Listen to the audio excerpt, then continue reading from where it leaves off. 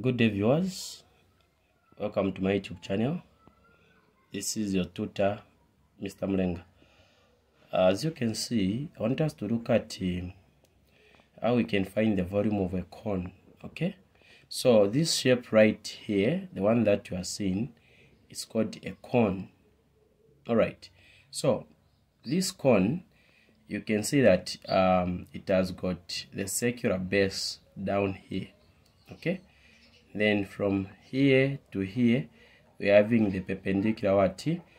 Height. This perpendicular height is giving us a right angle here which is a 90 degrees what? Angle. Then on this circular base down here we can see that there is a line that has passed from this uh, part up to this end. This line is called the diameter. Okay so if this is the diameter it simply means that from here to there you have the radius. Again from here to there you have the radius.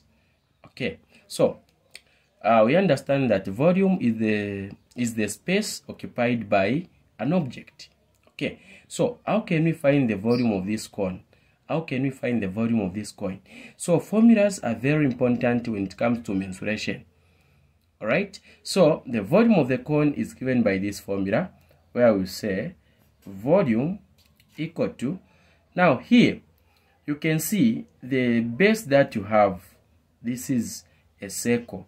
So if you want to find the volume of this cone you are going to say area of base the area of the base times height okay so in short we are saying volume equal to since this is a circle what is the formula for area of the circle?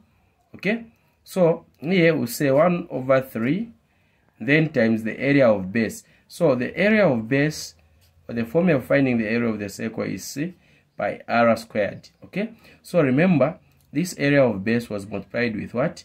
Height there. So you put height. This is the formula that you have to to apply when you are finding the volume of the, the cone so i hope that you have followed me nicely.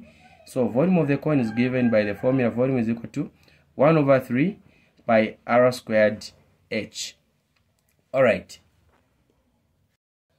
All right. So this is how we can use this formula for finding the volume of the what? Of the cone so volume is equal to area of base times height.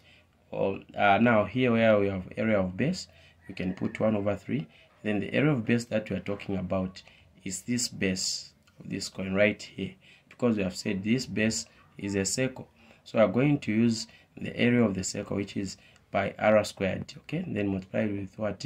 With h. Now let's look at um, an example okay? So suppose uh, you are given a a cone like the way it is this one you are given a cone for example like this you are given a cone okay. You are given a cone like this. Then here we have said you have your height there. Then uh, there is the radius there. So the height we are saying if it's 4 centimeter and the radius here maybe is 2 centimeter okay? Then they say find the volume of this coin okay? They want you to find the volume of this coin. Now remember in an exam maybe you may find that they have just given you a complete line here and they have said maybe it's uh, 4 centimeter for example. From here to there is 4 centimeter. Remember what i said? This is the diameter okay? So the diameter is twice the radius. So if the diameter is 4 it means your radius will be half of 4 which is 2 in this case. That is just an example i'm giving. So how can you find the volume of this coin? Quite all right you are going to apply the formula volume equal to uh, 1 over 3 pi r squared h. So volume equal to now what is our data here? What is our data?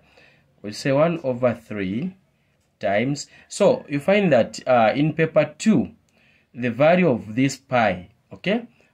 Value of pi can be pi equal to uh, 3.142 or 22 over 7 but for 22 over 7 it's normally used in paper 1 okay? So in paper 2 you are going to use this value of pi 3.142 so where there is pi here you are going to say 3.142 times r is the radius okay? And in the question the radius from here to there is 2 so you say 2 squared times your height here is 4 from here your perpendicular height is 4 okay?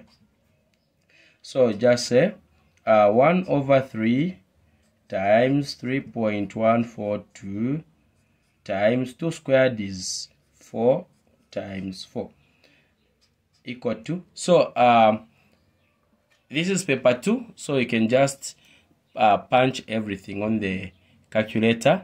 As I'm punching ensure that you're also punching so that we get the same value okay? So what I'll do is uh, 3.142 times uh, 4 times 4 understand that it's uh, 16 okay?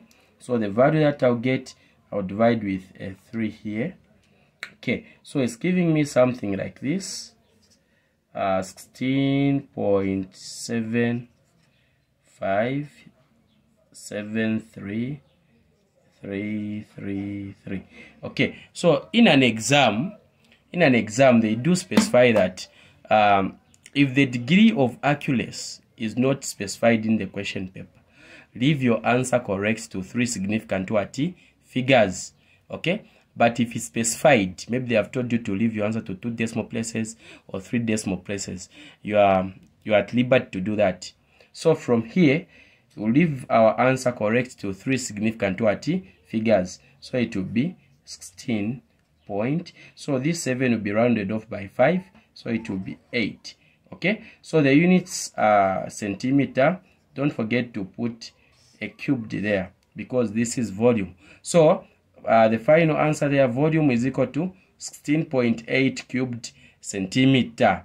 Okay? This is how simple we can find the, the volume of the of the cone now remember in an exam again where i've indicated the height inside here.